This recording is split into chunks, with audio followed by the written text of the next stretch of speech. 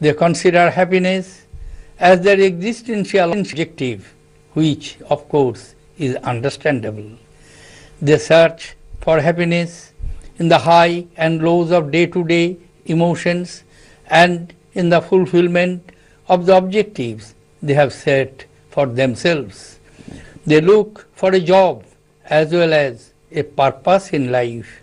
Lack of opportunities leads to frustration and unhappiness, which manifests itself in anger, anxiety, stress, and aberrations in behavior.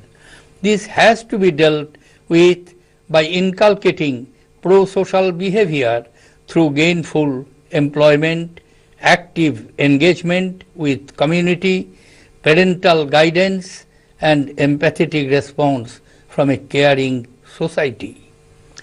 Brothers and sisters, one of my predecessors left on my table a framed quotation which reads, and I quote, The object of government in peace and in war is not glory of rulers or races, but the happiness of the common man.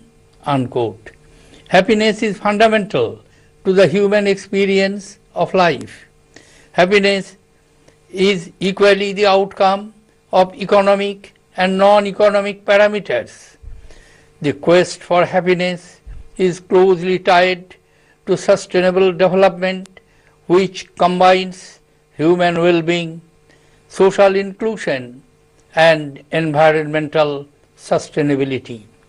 We must make happiness and well-being of our people as the touchstone of public policy.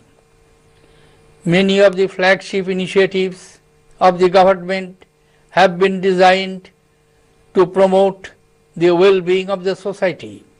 The Swachh Bharat mission aims at a clean India by 2nd October 2019 to coincide with the 150th birth anniversary of Gandhiji. Increased spending on program creating a knowledge economy through universal provision of digital infrastructures and platforms for cashless economic transactions.